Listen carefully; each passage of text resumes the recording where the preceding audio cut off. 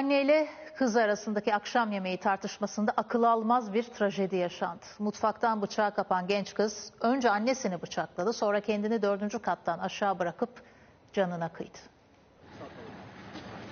Allahu Ekber. Bir anda gözü döndü. Annesini bıçaklayıp canına kıydı. Balıkesir'deki bu apartmanda yaşandığı dehşete düşüren olay, iddiaya göre akşam yemeği için hazırlık yapan Irmak Bayramışlılarla annesi tartışmaya başladı.